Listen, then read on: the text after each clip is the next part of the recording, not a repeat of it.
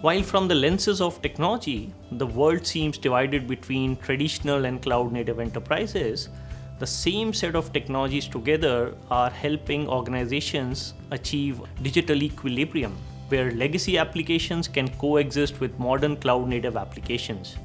Today, a CIO would want to build a seamless hybrid cloud experience where the benefits of private cloud around uh, control and security could be seamlessly extended to the public cloud and vice versa. A CIO would wish to get to the sweet spot uh, between technology and economics. And as these organizations are fast adopting a DevOps approach backed by the hybrid cloud model, infrastructure agility, automation, and simplified orchestration become the key pillars to achieve such initiatives. Software defined data center with its programmatic capability holds the key to any such infrastructure transformation and this is where HCL's Velocity offering can help. HCL Velocity is a holistic SDI framework taking into account end-to-end planning, assessment, execution and service delivery of software-defined infrastructure. It aims at changing the way people, process and infrastructure should collaborate and behave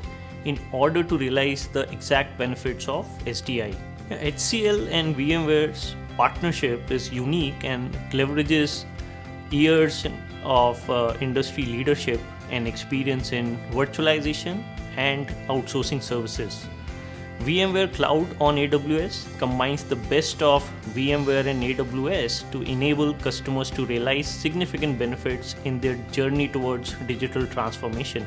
I'm sure that this engagement between HCL and VMware will deliver unbeatable value towards innovation and will also reshape a new generation of IT by laying the foundation for the future. HCL has also made strategic investments of more than $15 million in its state of the art software defined infrastructure lab to demonstrate a lot of hybrid cloud use cases.